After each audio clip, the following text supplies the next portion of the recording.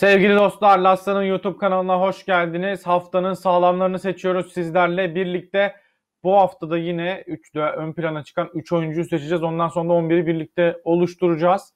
Ee, bu noktada tabii ki sizin de fikirleriniz çok önemli. Lütfen yorumlara kendi fikirlerinizi yazın. Kendi sağlamlarınızı, kendi 11'inizi oluşturabilirsiniz. Ee, biz de e, hem yorumları okuyoruz hem de e, oradan e, cevap vermeye, katkı sağlamaya çalışıyoruz. Belki güzel bir fikir tartışması da çıkabilir. Bu hafta ilk planda elbette derbi vardı. Büyük maç, büyük kapışma ve e, Beşiktaş Galatasaray'ı 2-0 mağlup etti ve bu 2-0'lık e, mağlubiyet sürecinde en kritik rolü üstlenen oyuncu Josef de Souza oldu. Aslında e, derbi öncesi yayınlarımızda da sık sık konuşmuştuk, değerlendirmiştik. E, Josef'in bu, tarz maçlarda hakikaten e, biraz daha ön plana çıktığı, biraz daha bu maçlara uyumlu, farklı bir profil çizdiğini ifade etmiştik. Josef gerçekten bu konuda çok değerli bir oyuncu. Ee, şu bakımdan çünkü yani iş fizikselleştikle atletizm ve güç kapıştırdıkça o bölgede pozisyon almasını biliyor. Ee, gerçekten güçlü, kuvvetli bir oyuncu ee, ve hiçbir zaaf yaratmıyor bölgesinde. Bu da yetmiyor gibi. Ee, hani ayağı da bölgesine göre epey iyi. Ee, oyunu da bildiği için özellikle e, bu tarz kilit anlarda da ileriye yaptığı e, koşularla doğru yerde topla buluşmasıyla birlikte derbilerde skor katkısı potansiyeli de taşıyor. Geçmişte de bunu yaptı.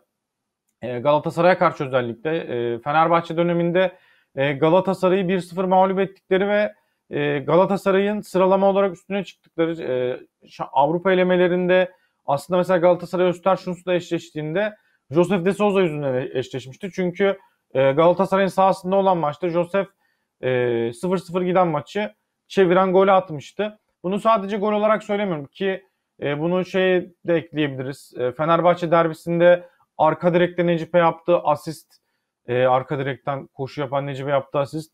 Bunlar da yine akılda kalıcı detaylar. Sadece skor katkısı bakımından söylemiyorum elbette. Çünkü e, en temelinde bu işin e, savunmanın e, merkezi olmak var. E, Josef de Souza Atiba'yı da rahatlatan oyuncu aynı zamanda ki Atiba'yla da orada mükemmel bir birliktelik oluşturdular. Gerçekten yani derbilerde bu merkezi bu kadar e, iyi kapatmasında Beşiktaş'ın yakın dönemde derbi performansının bu kadar ön plana çıkmasında e, bu ikilinin net şekilde payı var. İkisinin bir arada e, ortaya koyduğu performansı ve bu ikilinin performansı da elbette e, stoperlere yansıyor.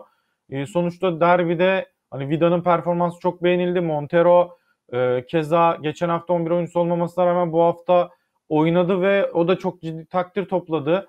E, şimdi eskiden düşünüyorum Vida'nın e, Josef e, 11'e girmeden önce aldığı eleştiriler, girdikten sonra e, aldığı övgüler, seviye farkı Montero için de geçerli. Montero için Sergen Hoca alın Montero'yu gördünüz falan diyordu yani. Bundan e, bir buçuk ay önce, bir buçuk iki ay önce.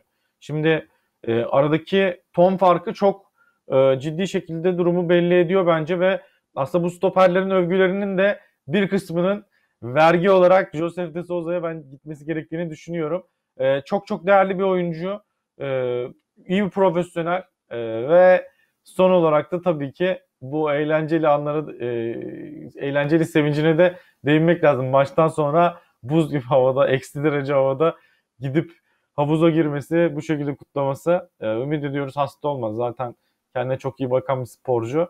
E, eğlence, eğlencesini de ihmal etmemiş ailesiyle birlikte. Tebrik ediyorum. Hem Beşiktaş'ı tebrik ederim, hem Sergen Hoca'yı tebrik ederim, hem de Josef de Souza'yı ayrıca tebrik etmek gerekiyor bence bu noktada. Elbette derbi dışında da haftanın sağlamlarından seçtiğimiz oyuncular var. Bunlardan bir tanesi de Mame Baba Tia. Gerçekten Fenerbahçe'nin e, çok da iyi başlamadığı, epey e, sıkıntılı bir e, mücadele başlangıcı yaptığı ve acaba Ankara gücünü çözebilecek mi dediğimiz noktada e, çok kritik bir gol attı, bir gol attırdı. E, gerçekten maçın çözmesinde e, çok kilit e, pay sahibi oldu. E, çok başarılı bir oyuncu olduğunu düşünüyorum. Yani rol olarak özellikle ilk 2-3 ay e, Fenerbahçe'ye tam uyum sağlayamamıştık. Genelde kanat bölgesinde görev yapıyordu Fenerbahçe'de. Ama görüldü ki esas yeri hakikaten forvet ve forvete geçtiğinden beri Tiam Samatta'nın da biraz daha rahatladığını görüyoruz. Şimdi Tiam Samat'ta ikilisi birlikte olduğunda hem Samat da biraz daha fazla alan bulabiliyor. Koşularını daha iyi yapabiliyor. Hem de aynı şekilde e, Tiam kendisi de en az e, Samatta kadar belki daha da fazla pozisyonun içinde yer alan oyunculardan bir tanesi oluyor. İlk golde e, yaptığı tek vuruş e, belki çok acayip bir vuruş değildi ama kaleciyi kontrpiyede bırakmaya yetti. E, bir de e, iştahı da yerinde vuruşu yaptıktan sonra duran bir oyuncu da değil. Stoperlerden önce gidip bir de orada o vuruşu tamamlayan isim oldu Tiam. Aynı zamanda da e, attığı golün dışında da Samatta'nın attığı golde e, çok ciddi pay sahibi. Bu noktada Fenerbahçe'den e, Ankara gücü ki bence çok da formda bir takım. Fiziksel olarak çok iyi durumda olan bir takım.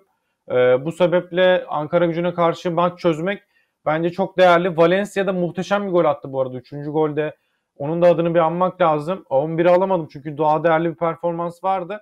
Ama onun da adını anmak istedim burada. Şimdi bir de elbette e, Tiam Samatta'nın e, biraz daha iyi gözüken ikilisine, biraz daha hareketli gözüken ve sonuç alan e, çift forvetinin arka tarafına, arka bölgesine e, fena olmayan bir oyuncu gelecek arkadaşlar. Mesut Özil e, diye bir on numara.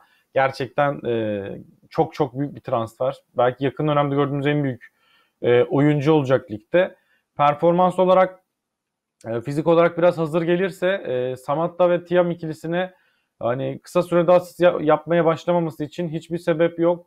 E, inanılmaz bir silaha dönüşecek. Daha e, yani bu kadar iyi bir duran top takımına bir de Mesut Özil gibi bir duran top kullanıcısının geleceğini de düşünürsek hakikaten Fenerbahçe çok ilgi çekici bir takım olma yolunda ilerliyor. E, tebrik ederim Fenerbahçelileri de. E, hakikaten zaten e, o kadar büyük bir transfer ki bana da Alman kanallarından, Alman televizyon kanalına röportaj verdim.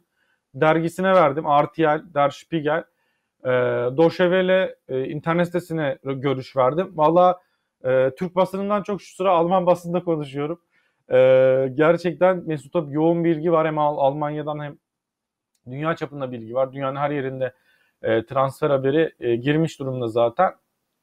E, gerçekten e, Fenerbahçelileri e, tebrik ederim, ümit ediyorum. Sağ, sağ içinde de e, bizler de izlerken son derece keyif alacağız. Son olarak haftanın sağlamlarına değinmek istediğim bir diğer oyuncu Kubilay Kanatsız Kuş. E, gerçekten Malatya Spor e, zor günler geçiriyordu. Aslında çok formda bir dönem geçirdiler. Büyük takımlara karşı iyi sonuçlar çıkardılar. Ve onun da arkasından e, bir e, hani çok puan toplayamadıkları bir periyoda girmişlerdi.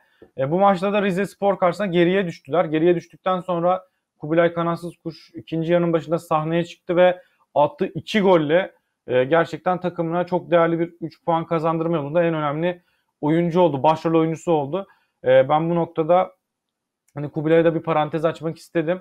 E, çalışkan bir oyuncu. Elinden geleni yapan bir oyuncu. Gerçekten özveriyle oynayan bir isim. Böyle hani yine Umut Bulut seviyesinde koşuyor demeyeceğim ama Umut yeni nesil Umut Bulut olma yolunda ilerliyor. Böyle son vuruş becerisi çok yüksek olmamakla birlikte tecrübelendikçe onu da daha çok gideren, e, mücadeleye katılan e, bir forvet e, tiplemesine dönüşüyor. Burada Kubilay'ı da e, tebrik etmek isterim. E, onun haftanın sağlamlarını aldım. Haftanın 11'ine tabii ki kaleciden başlıyoruz. Bu hafta bir 4-4-2 dizilişi deneyeceğiz. Ee, kaleci Bofen oldu. Antalya Spor'da gerçekten bu hafta Trabzonspor'a karşı mükemmel bir iş çıkardı. Neredeyse takımının e, galip gelmesi de başrolü oynayacaktı. Ama maç berabere bitti. Biz yine de hakkını teslim etmek için e, Antalya Spor'un kalecisi Bofen'i kadroya aldık. Malatya Spor haftanın flash takımlarından biriydi. E, onlardan keza yine Sabek Çebake'yi e, kadroya kattık 4 birlik Rize galibiyetinde. Stoper ikilisi olarak e, derbide ön plana çıkan Vida'yı Galatasaray derbisinde iyi oynayan Vida'yı aldık ve e, elbette Gençler bir galibiyetinde yine iyi bir performans sergileyen eski Trabzonsporlu yeni Karagümrüklü Kampi stoper ikilimizi oluşturdu. Sol bekste e, yerli bir oyuncu Mesut Çaytemel o da Hatay Spor'un Deniz Spor galibiyetinde e, pay sahibi olan isimlerden biriydi. Savunma hattımızı bu şekilde oluşturduk. Orta sahamıza dörtlü bir hat var ama önce e, merkezdeki defansif oyunculara sayalım. Elbette haftanın sağlamlarında da ilk olarak adını andığımız Josef de Souza takımımızın kaptanı bile diyebiliriz. Keza yine onun kadar değerli biraz daha inceci bir oyuncu. Karagümrüklü Biglia o da Gençler Birliği maçında ilk gol attı penaltıdan da olsa. Bence e, çok iyi bir performans sergiliyor da lige çok iyi uyum sağladı. İyi bir ikili olacaklarını düşünüyorum merkezde. Kanatlardan bir tanesi yeni bir isim. Belki ligin çaylağı Zulş. Gerçekten ben de yeni tanıyorum ama e, ilk maçında Ka- Konyaspor'a karşı çok net iyi bir performans sergiledi ve takımının 3-2'lik galibiyetinde pay sahibi oldu. Göztepe'lilerin de e, biraz daha heveslenmesine yol açmıştır mutlaka. Bakalım arkası gelecek mi? Sol tarafta Larin'i kullanıyoruz. Keza yine o, yine o da forvet kökenli bir oyuncu bildiğiniz gibi. O da derbide iyi işlere imza attı. Belki o önünde seken toptan dolayı e, kritik bir pozisyonda e, bitiremedi. E, ama e, ne olursa olsun derbideki performansı gayet iyiydi, yerindeydi. Larin'le birlikte orta sahayı tamamladık. Forvet hattında ise haftanın sağlamlanan iki oyuncumuz var. Malatya Spor'dan Kubilay Kanatsız Kuş ve Fenerbahçe'den Mame Baba Tiam. E, sonuçta e, gerçekten iyi performanslar sergiler. Bütün oyuncuları tebrik ederim. Şöyle bir 11'e de göz atalım isterseniz. E, kalede Antalya Spor'dan Bofen var. Malatya Spor'la Çebake sağ bekimiz. Merkezde Vida Kampi ikilisi var. Beşiktaş ve Karagümrük'ten. E, sol bekte Mesut var. Merkezde Josef ve Biglia yer, yer verdik. Beşiktaş ve Karagümrük'te oyuncular. Göztepe'den Zurş, e, sağ kanatta Beşiktaş'tan Larin sol kanatta. Merkezde ise Fenerbahçe'den Tiam ve Malatya Spor'dan Kubilay var. Siz de 11'inizi oluşturabilirsiniz. Aşağı yazarsanız e, gayet güzel bir şekilde e, yorumlarda sohbet etmiş oluruz efendim. E, gelmiş hazır gelmişken abone olmayı da unutmayın. Çünkü burada biliyorsunuz size çok güzel hediyeler de iletiyoruz. 100 liralık hediye çeki kazanabilirsiniz hepsi buradan. E, lütfen yayınlarımızı takip edin. Abone olun, yorum bırakın, bildirimler açın, her şeyi yapın. Teşekkür ediyorum. Görüşmek üzere, hoşçakalın.